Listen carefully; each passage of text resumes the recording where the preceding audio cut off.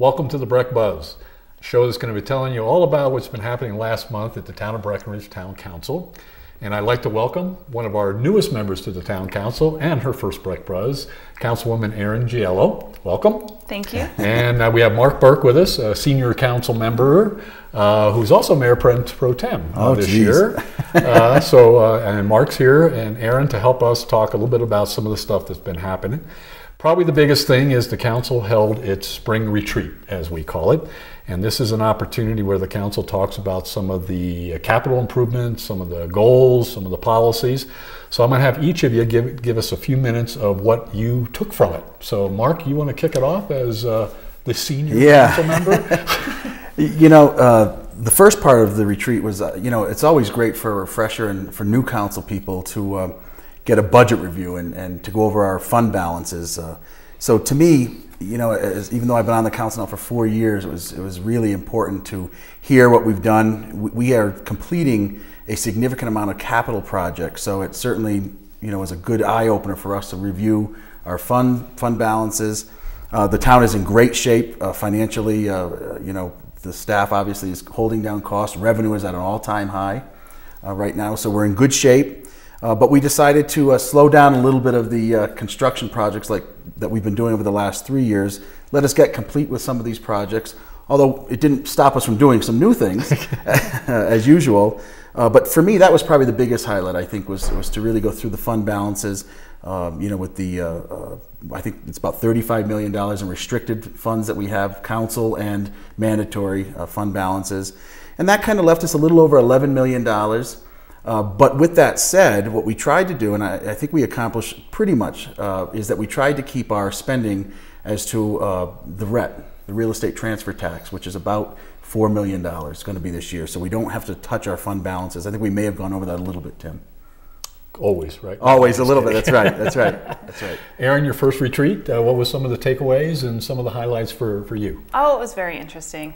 I, uh, it, it's great to see exactly how the budget works, what the parameters that we have to work within, and, and also the studies. We had the F lot parking study, we had um, the performing arts feasibility study, the parking survey. So it was a great uh, baseline to see where, where the town is right now and where we can improve, and obviously the, the dollar amounts that we can improve within.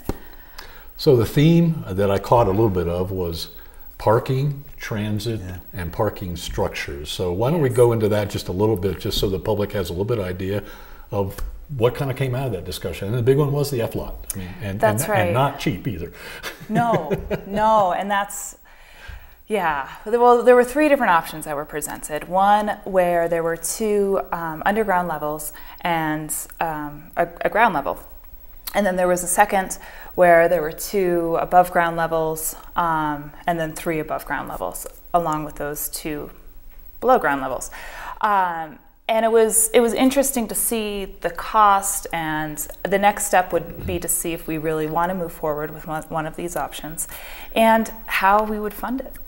But uh, the it, they're beautiful plans. Uh, it would create a, a little bit of an area to put in the new Paley artwork that we commissioned, and just it, it would be it would be a great place to put a good amount of people who would want to use Main Street, and we've seen that about 50% of people who park in Main, at F lots use Main Street. So so that's it's pretty good.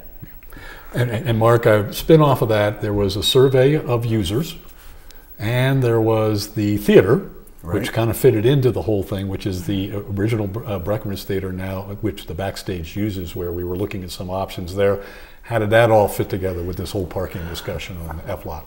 Well, you know, it's interesting. Uh, You know, there there is a there is a, an issue with parking in this town, but there's a you know probably uh, when you look at the survey, there's a, there's a real perception of an issue with parking in the town, and and a lot of it is is the locals. I mean, I, I think it was the number was 85 percent of our locals first of all drive to work. Um, and so that you know that puts a strain on parking, and you know, and I may be you know oversimplifying it, but basically they take the prime spots, um, and that was self-reported through the surveys. I mean, locals actually said that they prefer to park right on Main Street, right in front of their businesses. You know, and, and I can understand that's human nature, but that's creating an issue for our consumer consumers, which are our visitors and our guests. And you know, as a result of that, it, it's kind of forced our hand. This has been ongoing since I've been on the council, Tim, probably long before me. Um, but that's what really sparked this study uh, for the F lot. You know, it's, it's, one of the largest single spaces we have as a town that we currently own that's in the downtown core area. But it comes at a high price tag. So we have got to think about as a town, you know, long and think clearly. And our citizens need to understand the cost that's going to be involved in this because, as Erin said, there were three plans. They range anywhere from 600 spaces to nearly 1,100 spaces uh, with a price tag of 40 to 60 million dollars. I think the debt service alone was like $2.8 million a year just to pay for it. And it wasn't just uh, the parking structure. In order to accommodate that many more cars coming to one location, we would have to redo uh, uh, Park Avenue. We would have to, in one case, have to actually make it four lanes. Uh, but in, in all three cases, would have to make sure the roundabouts were done in four o'clock and Village Road. Right. Mm-hmm. Uh, so you know there are significant infrastructure changes that the town will have to make in order to accommodate that. Now, the study did say that to consolidate parking makes it much easier for guests because, in fact, they know where to find it. Right now, where we have satellite lots all over the town, although it adds to the character of the town, it's frustrating for visitors because right now, when they get to a lot, if they get to Wellington and they find it and it's full, they now have to find another place to park. So it's, it's going to be a big discussion. I hope the community comes out because we have to figure out a way to finance it if we're going to do it. Uh, you know, I think Erin would agree. When we ran for council, it was a big issue parking, mm-hmm. but it comes at a price tag, and someone's going to have to pay for it. Uh, so that's going to be probably the largest discussion. Right. In the survey, I always love love, love the people are very honest because, yeah. uh, as as Mark indicated, locals want it free and close to where they work. That's right. And yes. it doesn't work if if that's what they want as compared to what our guests want. Right, a right. challenge for council, huh? Exactly. And it was interesting to see from the parking study that the majority of visitors wanted to park in the gondola lots. But I wonder if that's because it's obvious. When you're driving by the gondola lots, you know that that's a, an easy place to park. You know where your car is, you can get to it and get out. And that's And you see the lift taking you right up the mountain. Exactly. You know where you want to go, which similarly I don't think it would be that that much different with with an F lot parking structure. Tim, if I could uh, just throw out one thing that I think is important for our citizens to know that the F lot study in the survey, not as a parking structure, but currently, the people who do park there seem to spend more time downtown afterwards shopping. I think it was till seven o'clock, where many of the other lots they left at three or four right. and they were out of here. But there was a good trend where we are seeing a few. That's right, exactly. Yep, that's right. Even in the even in the gondola. In the gondola, lot. the mm-hmm. one out on uh, Airport Road, no. virtually none of them stay. And I'm not sure by us building enough parking downtown, people that come here just to ski for the day are going to stay anyways. Right. Because we've, we've tried a lot of uh, things to keep them here. Well, let, us talk about a little bit of next steps. The council highlighted two things they wanted to do related to, well, one to the, to the parking structure, mm-hmm. and that was to do more analysis financially. That's right. Uh, figure out what, what is that, how, how to pay for it. And, and the second thing on the, uh, the, the, the, survey and, and the uh, parking things was to finish up a summer piece mm-hmm. because we want to make sure that both those pieces are looked at as, as a part of the plan and then to come up with a plan. That's right. It's going to be very interesting.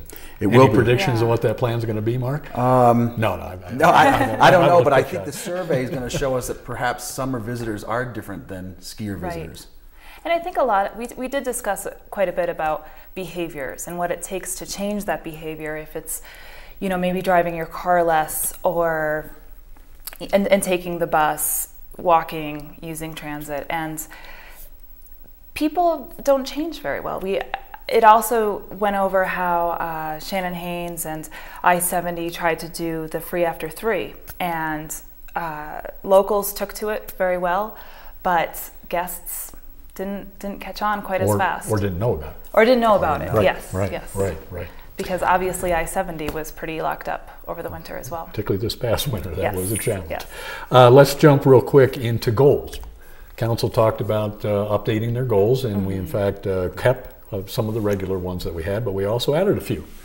Erin, you want to take a crack at a couple of the ones that, that highlighted for you uh, for the for your coming year as a council member? Um, well, that we changed for the goals last year, uh, we had arts and culture, but now it's instead of the infrastructure because we've worked so hard on the arts district, now it's developing that programming, which of course Robb Woulfe will work very hard on. Um, parking and transit came back, uh, turning the water conservation into, because we've obviously uh, put that into place, but working on the water plant and how we're going to pay for that.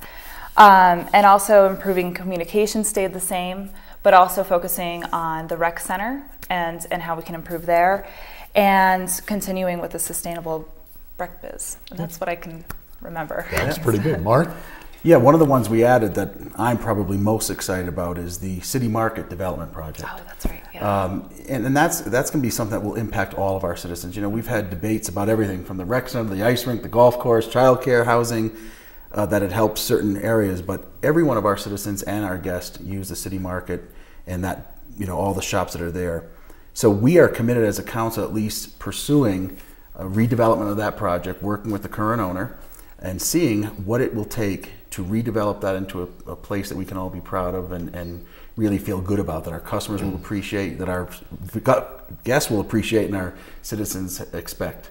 So I'm pretty excited about that one. And that's actually been one talked about for quite a few years yep. also. Uh, so uh, if we could do the same thing with the post office, we would be. if we only had that kind of control, right? right, right. well, great summary of the retreat. Uh, by the way, uh, we, we, we did tape the retreat, so public is certainly invited to, to join in. We had a few guests, which are always welcome. Uh, and so the council will continue to work uh, on the different aspects of what we did. We're going to be right back uh, after we take a quick break, and we're going to tell you about some of the other things that have been happening at the Breckenridge Town Council. Thank you. Hello, welcome back to the Breck Buzz. Uh, continuing with our uh, updates on uh, some of the stuff the council's been working on, I'm going to jump into what we call development agreements. Uh, the council looked at two. I'm going to have each one of you take one. Uh, first, the BOEC. Uh, the Breckenridge Outdoor Education. Mark, you want to talk a little bit about that one? Yeah, the Breckenridge Outdoor Education has been leasing uh, their place on Wellington, which was formerly the Sanitation District building, I believe. Um, and they've been great stewards of it, but that building is getting old. And so I think, was it two years they first came to us looking to perhaps purchase that building? And the council at that time uh, said that we're willing to sell the building because we think that's a great use. But we really tried to convince them to try to think about long term lease while they perhaps put together a fundraising campaign that would allow them to purchase the building. As a result of that, I think their board looked at it, and I don't want to speak for their board, so Tim, you might know even better, but their board looked at that project, and that building needs a lot of repairs. I think to the tune of about $850,000. dollars mm-hmm.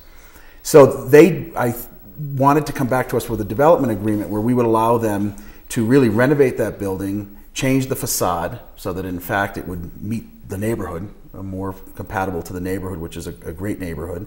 Uh, in addition to that, they want to add uh, dormers, I think, on the third floor, which would allow them to have seasonal housing for their employees. Uh, so it'd be affordable housing for a workforce that they have. It is not going to be built so that it can be someday rented. It, it's going to be a, a dormitory style with an open kitchen and things like that, and there will be some nonprofit office space up there. Uh, but the council overwhelmingly approved it. We felt that it was the right thing. BOEC does so many great things for our community and for our visitors, and uh, we're really excited about it. They are going to embark as a result of us approving that. And by the way, they'll have to go through the planning commission, the same as any other project will. So it's not that you know we did a development agreement around the planning. They'll have to go to make sure it fits in the neighborhood and meets code and all those types of things. But it allows them to know that we're willing to make some exceptions for things that they needed to make sure that that would happen. Um, and so I think they're going to probably embark on a campaign of 1.25 million or something like that, or, which, more, yeah. or more, which will include the 850,000 and the purchase price of 500,000. Right. And, and, you know, we protected the town because that is our building, and I think right in the agreement, uh, correct me if I'm wrong, but if they 20 years down the road ever decided to sell, we have the first option to buy it back. That's correct. So it would not get into the wrong hands. So I felt really good about that. They do wonderful things for our community. Yeah, great partnership. Yeah. Second one was more of a classic development development yes. agreement, and we refer to this one as the Triumph development. And what's that all about? Well, it's a Marriott hotel uh, where the Breckenridge, Breckenridge Mountain Lodge was currently, and the building's still there, but it's it's changing completely, changing it over into a Marriott, which I think is pretty exciting. They'll have 133 rooms, an outdoor pool, uh, with with beautiful amenities, and it'll be that four plus, hopefully, star uh, hotel that we've we've kind of been looking for. I know we've been fishing around in the past to, with F lot, so hopefully this will be a, a great addition, and it will bring business to that to that side of town I'm secretly hoping that it will help out Main Street Station a bit. Yeah. That would be great, wouldn't it? Yeah. get Yeah. back some good commercial in there. Exactly. Uh, and that has to go through the planning process also. That this is, just sets them up to, to start Yeah, that process. and I believe we'll see more about that this Tuesday, correct? That's correct. Yeah. Right. Exactly Yeah. right. Uh, Mark, one of the items that was on the retreat uh, topic that I kind of skipped over, and we probably ought to spend a couple minutes on, uh, the Breck Theater. Oh, And you actually looked at several options about uh, what to do with the what we call the classic old theater, which is what they're in right now, which the, the town owns in the Arts District, and some other options. Yeah, and that, that was a interesting debate. It's actually been a, several months that we've actually been looking at that. Uh, the, the previous council had already approved 1.3 million dollars in renovations uh, to the backstage theater where it currently exists. As a result of that, um, the council agreed uh, after that when we did the study, when we did more in-depth study of what's going to take, that it really got up to 1.9 million.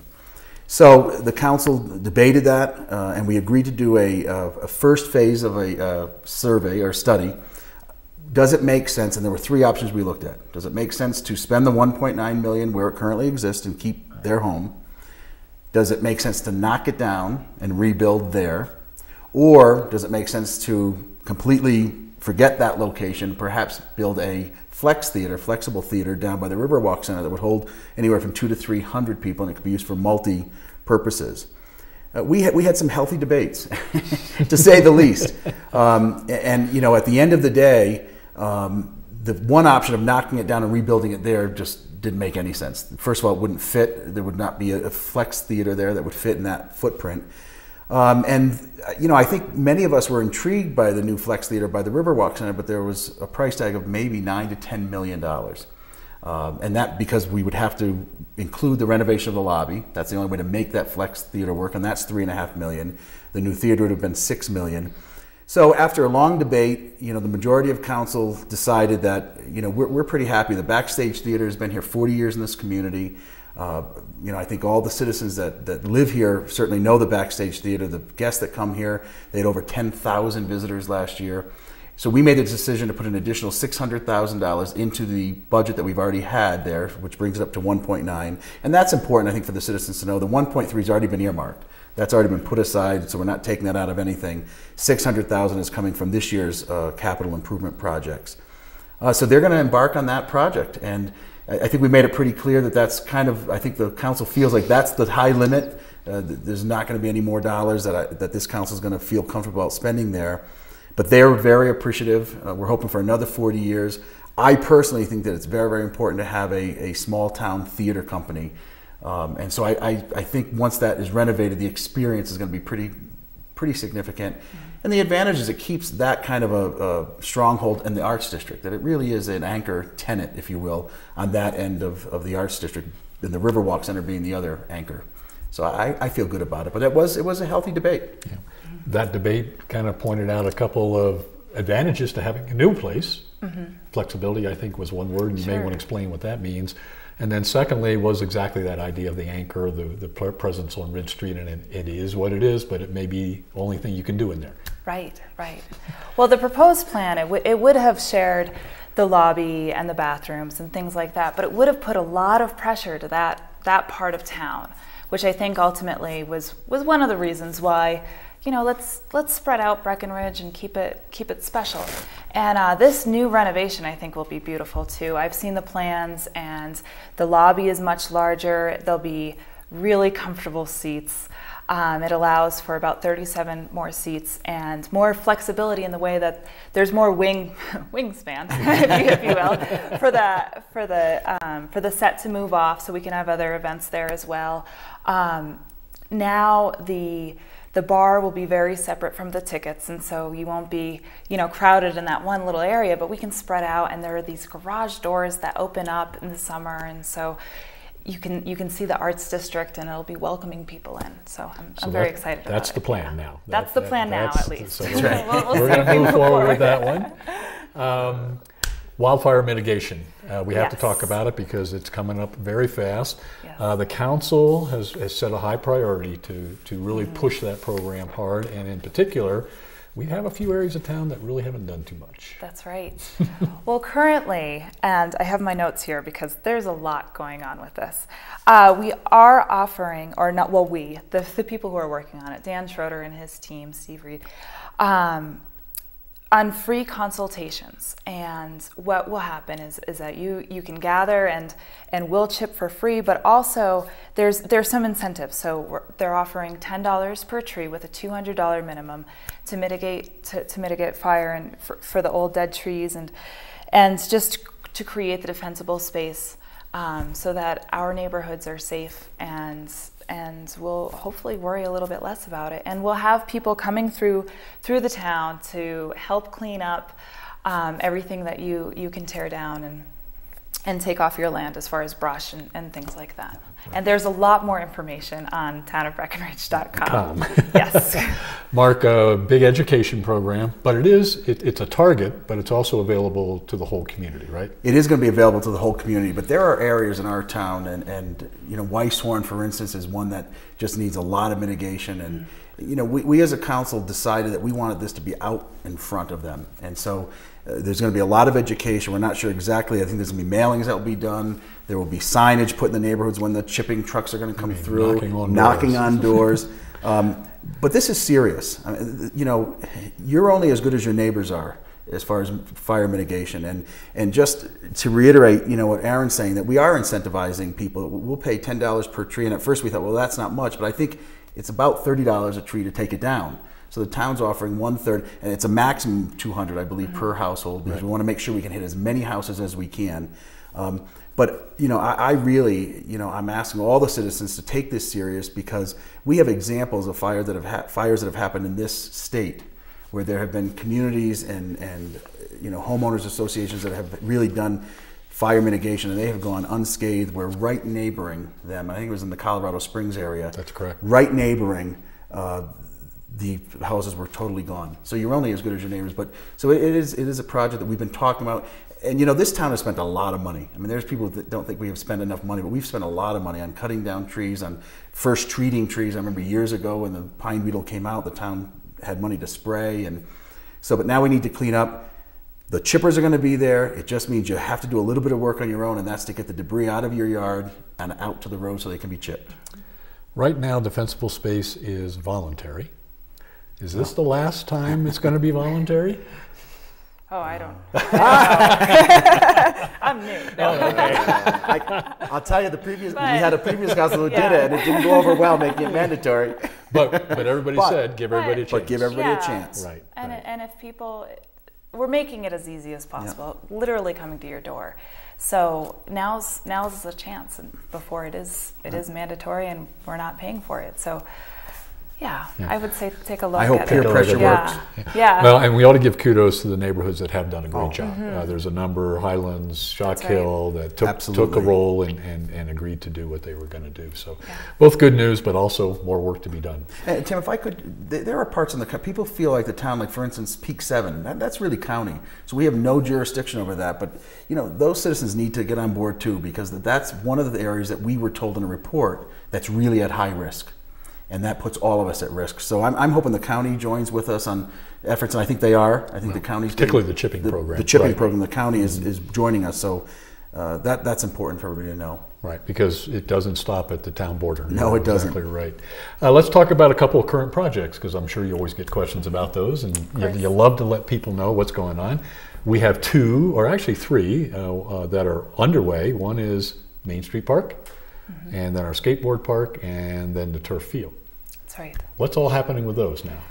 Well, uh, the skateboard park is starting this summer, and it's going from well 13,000 to 19,000 squ- square feet. And we're working with Team Pain, who will be coming in this summer. And as you as you can tell, if you've gone by the rec center, there isn't a skate park there anymore, and that's not. We didn't get rid of it at all. we are just, just replacing it with exactly, exactly. Well, we heard one citizen say that. So uh, we are. It's it's going to be bigger and, and better. I don't I don't skate, but it it looks beautiful, and it'll be used by young and inexperienced to um, more advanced skaters, and I, I'm looking forward to it. And that should that should start. Well, it's already started, Right. but hopefully it'll finish up by the end of the summer. Right. The uh, Main Street Park? Main Street Park. It's um, for those of you who don't know, it's it's right between the locals market and Alpine Bank. The town acquired that property about a year ago, year and a half ago, uh, and we're going to put a, a, a real nice park just for people to get a respite kind of on their walking. There's going to be benches. There's going to be a play area, but with natural features. So it's not going to be a playground. It's going to be natural features. There's going to be a, a, a great uh, piece of art that's actually been donated by Mike and Anna Dudick. Uh, personally, they donated that piece of art, so that will be there. Uh, it's just going to be a great park on our main street, adding some green space, break between buildings. Um, you know, and it, it, we're, we're anticipating down the road probably, uh, well, it will be connected, I guess, to the Carter Museum. So people will be able to walk on Main Street right up to the Carter Museum, which right now is very difficult to get to. So that's a historic property for the town that will be probably more utilized. We're looking at down the road, probably within the next year and a half, putting a, a bathroom at the Carter Museum area. Uh, so that's one of the budget things we looked at at the retreat, uh, but yet we haven't seen the plan yet. That will be in October. Uh, so it's it's going to be really a significant uh, property, and I think you know we spent you know I think our budget is two hundred fifty to three hundred thousand dollars on that park. So it's going to be really something significant, something that all of us can be proud of in this town. And it's starting and, and finishing this summer. It will be done. It will be done by the fall. Right. Correct. Yeah. Right, right, yeah. exactly. And and from what I understand, will not impact traffic at all from where they are going to be. I mean, there could be some blockage on one side when they do it, but most of it is going to be because we have that whole property now for us. Maybe the alley behind. I think they might be using some or Uh, probably not. No, Probably not, no, right. Other, other than connecting the sidewalk up from up to Carter. right. The turf field. The turf field is being put in, um, and it, I think it'll be a great amenity because lacrosse won't have to start practicing what in, in June right. anymore. That's so so they'll be able to be out there sooner and, and out of the gym, and um, yeah, I, I think it'll be great and, and a moving forward undertaking. so a lot of projects uh, going on. Uh, a couple other things that uh, the council had to deal with. Uh, it, it, it seems to be a uh, I don't, what do I want to call it? Uh, just a, a recurring problem with telecommunications. Oh yeah. yeah. and and where uh, wireless antennas need to go. And we interestingly have two of them pushed in front of us this this last month. There is, and and you know that is a complaint since I've been on the council we've gotten from citizens and guests alike about the reception when we are at peak season. And so Verizon has come to us and wanted an agreement. They're looking to put an antenna at the red, white, and blue. What is the station called? Right across from The Tiger north, Road. the north North uh, north station. North Station. So they want to put there, and they're actually going to be putting it into the uh, cupola. Is it Cupola. Cupola, cupola. And uh, you know they're going to be extending that, but it, if you look at the drawings, it virtually looks the same. Actually, I think it kind of looks a little bit nicer. Um, and then they're going to be putting one at the uh, baseball field by the rec center. Now, interestingly enough, you know, just a few short years ago, all, when you thought about these antennas, you think about these big towers that have these antennas. They are now putting them into small pipes.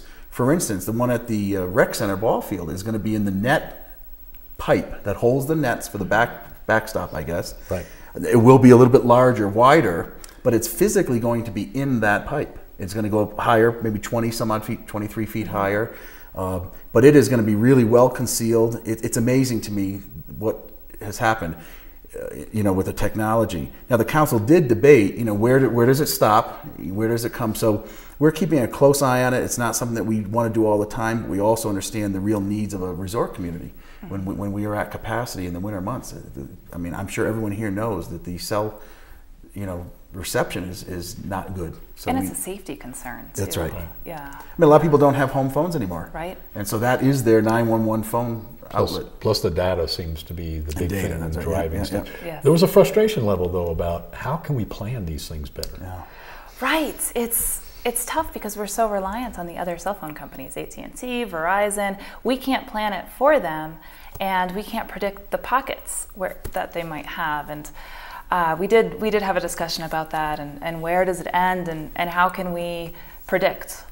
Um, but it's an We interesting can't. topic. But yeah, it's, it's important. Yeah. Everybody uses Yeah. their cell phones. And, and I, I think clearly the council would like to avoid kind of the temporary thing, which was very, very nuisance oriented when we did one of those a few years ago. I I was on the council when we did that, and it was in the parking lot of the old CM. At that time, it might have even been the CMC Mm-hmm. It building. was, yeah. mhm. Um, and we had neighbors that, you know, the sound. Now again, very different tower. It was a temporary tower, so it was loud. And, but regardless, it was it was a nuisance, and I don't think we ever want to go back there. So we're we're not interested in doing temporary solutions. This is a permanent solution for those pocket areas for Verizon. We're expecting to hear from some of the others, but if they can be as creative as Verizon was with these two sites and how they did it, uh, I think you know they'll probably get a positive response from us as well. Plus, there's room for other things on the antennas, as, That's as right, we that's understand, right. at least for a little bit of co-location. And, and Tim, our citizens should know too that you know we were able to get a few things out of it. We were getting a lease payment per That's month right. out of it, and we had a real issue with I think the trash dumpster at the rec center that we would have had to spend I think fifty thousand dollars. They're going to do that for us as well. So you know we made sure we did due diligence to make sure that the contract was in the best interest of our citizens uh, and for our community. Right. Um, kind of a funny topic, but one that uh, the, the council took a position on, which Mm-hmm. is related to another town. Kind of unusual. That's right. Uh, Blue River has has a issue in front of them called an annexation, and there was. Uh, I'll let you explain it, but it's about Okay. what we call the jump. well, I might ask you to jump in. jump in. Ah. Um, so in the 1990s, yeah, we decided to have an annexation with Blue River, the county, and Breckenridge to make sure that we don't overpopulate, that we don't overdevelop, and so we set aside some some guidelines. Um, together to make sure that that doesn't happen. Now, um, there has been an applicant with something called Ruby Placer, and it's a development that will have um, more more units than than would be within the annexation that was agreed upon. Um, 48 units, and between the county and Breckenridge, we've decided that it's about 23 units above what was decided in the annexation. Um, so we wrote Blue River a letter just requesting that that the plans change a bit to accommodate. Is that Yep, how, how'd I that's do? pretty close. I'm going to let Mark embellish a little bit. What is jump? Yeah, it's the Joint Upper Blue Master Plan. Okay, and, and it was good. done, as Erin said, years ago. But as recent as when I was first in the council, I think 2010, as recent as that, we had a, we reviewed it again. We all signed off on all the communities, and it's ex- exactly what Erin's talking about. It's so that we don't overpopulate our town and we can't meet the needs of our community with the infrastructure. Now, we made very clear at the council that we don't want to intrude on uh, Blue River's, you know, sovereignty. They are a community on their own, but we also felt it was important that they know that we're concerned about it, that we don't think it meets the standards of the agreement that they signed. Um, I know we we had a big give, at least when I was on the council, it was a big debate about uh, affordable workforce housing. And, and we gave, I think it was one to four SFEs, and we decided to give up some of our SFEs out of our bank even if we were doing affordable workforce housing. So, you know, we've given, we just want to make sure that that Blue River holds their end of the bargain as well. And I know the county was concerned. Uh, that was actually county land at one time, and that's, the real debate. still is, right. And, and so it's county land, and, and there was an, a, an agreement that was, I'm not going to get into the details, but there was an agreement years ago. So the developers is holding his hat on, I think, an agreement that was there or something that was stated in, in some document. Uh, but it very clearly, at least when we look at it, uh, as Erin said, it, it, it, it's going to be overpopulated compared to what we agree and the county. Right, and, and it's not a question of not allowing the additional density, it's really where you get it from. Right, right. The, the, the TDR program, which means that somebody has to pay for something. That's right. And this isn't workforce housing, Right. as far as I No, understand. that's right. Right, right, it's all market housing, Right. right. You, you know, Tim, and that, that's a great point. It's, it's not about that they can do that. Now, there is a concern that they're spreading development out quite a bit, so it is going to the backcountry, which is one of the things that we didn't want to see happen. But they can buy the density. This development agreement can buy. As a matter of fact, we talked. Erin talked about Triumph.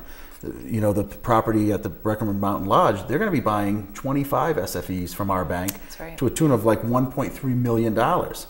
Uh, so that's a, a smaller development. You know, well, it's a different development. Right. It's a hotel development, but very clearly, our council said, no way, unless you buy those SFEs, we're not going to approve it. We could have done that too, but we didn't do that. So that, that's the real rub, I think.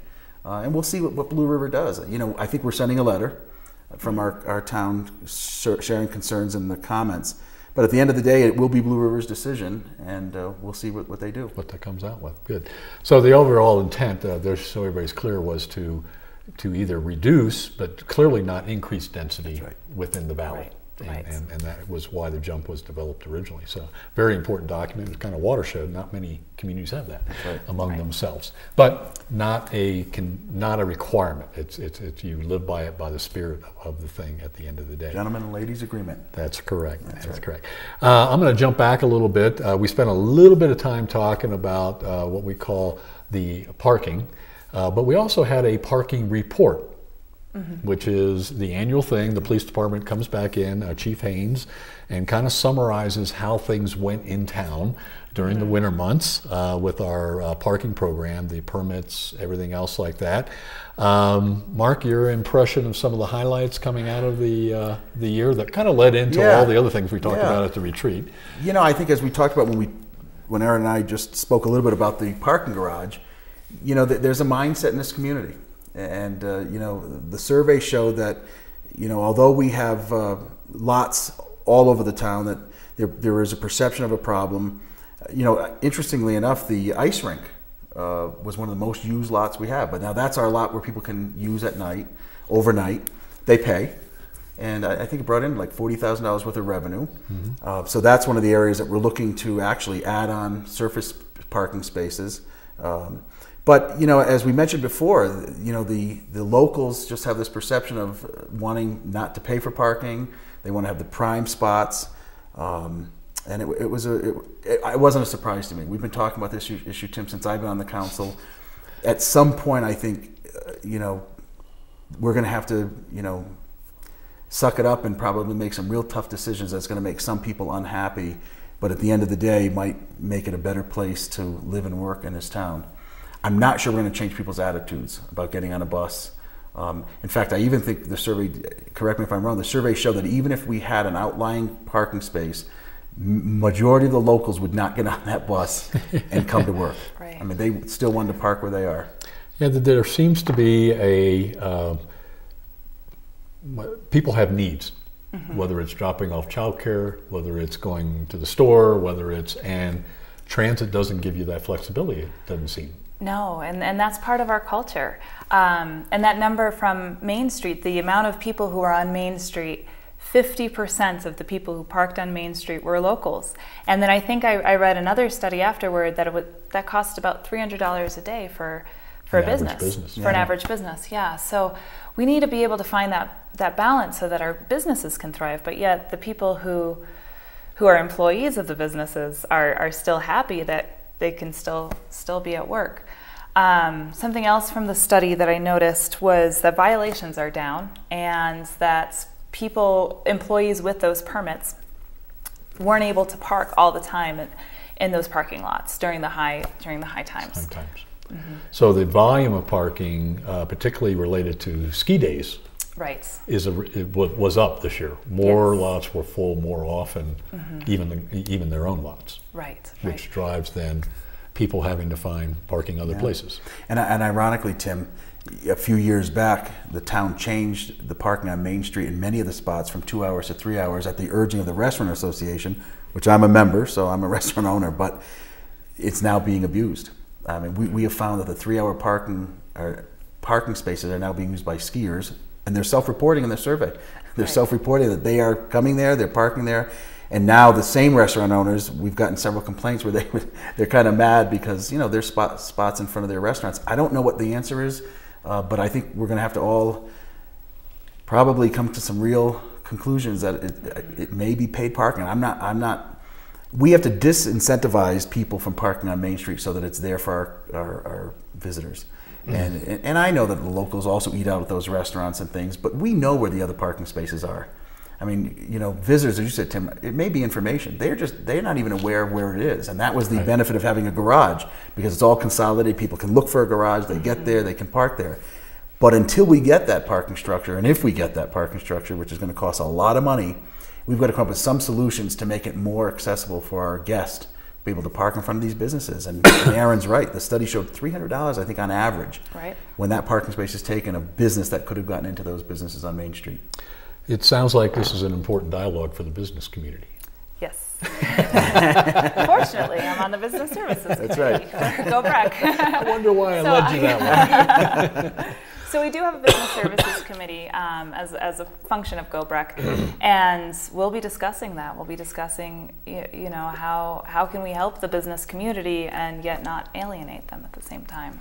Right, because it seems to be in their own self-interest to not have employees. Of course, park. of course, yeah. Right, right. yeah. When you when you look at dollars and cents, uh, we've covered a lot of stuff. Uh, anything I missed that you'd like to highlight? uh, Um, maybe a little bit about Main Street construction. Yes, we have a, dr- a drop. Hopefully, this is taken well. A drop dead date of June 20th of, of when that will all be completed. Um, and also, with I, I did want to add that you can find a lot of these studies on townofbreckenridge.com at under projects and issues. So for, for all the statistics that we didn't quite hit here, um, it's a point. great. Very I, good point.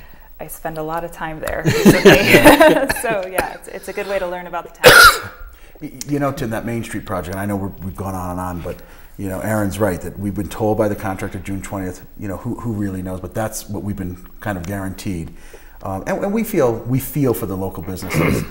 But this has been going on six years. We've been doing, I mean, this is a $6 million project that we've broken up over six years, probably even, maybe a little bit more. Yeah, seven, I Um, think. Yeah. But I think anybody who looks at the parts of Main Street that have already been done are definitely an asset and a benefit to those business owners that live on Main Street. And so, although we know it's a real inconvenience and when we understand it, it's one of those things where we have a very, very short window in this town to get a project done. And it's going to be in the best interest. And my guess is we're not going to do that kind of a project again for another 15 or 20 years. We better right, not. right, and we that's better important not. to say that Yeah, it's, it's that's the- right. we're seeing the end of the light. This but is we it. do we do hear the businesses and feel for them for sure. Yeah. Right. I mean, in the old days, maybe not that long ago, uh, May and June were very slow. Yeah. Uh, And you hope to start in April, but uh, it seems like there's a little bit of a change there. I, I don't know. I haven't. We'll probably see sales tax numbers and we'll get a little bit better Right. idea. But Well, and I would also like to encourage people who are visiting town or people who are already here. They're open. All those businesses are open, and you can access them. You can go around the construction. So please visit our local businesses. That's right. yeah. Yeah. Unfortunately, we suffer from a cone zone for two months I know. because Right. that's our only time to get stuff done. And not So, just us, the state, CDOT, CDOT, us, and Route everybody. 9, seems, yeah. seems like the whole county's torn up. I know. That's right. Yeah. And and you can't get to Montezuma. Yeah, Right. unfortunately, boy, heart goes out to those folks up there. Yeah. Yeah. Well, those are great updates. Uh, anything else I missed before we wrap? I, I just hope the citizens come to our meeting because everything we do is public. Uh, We have a work session from three o'clock till seven thirty every other Tuesday, the second and fourth Tuesday of the month.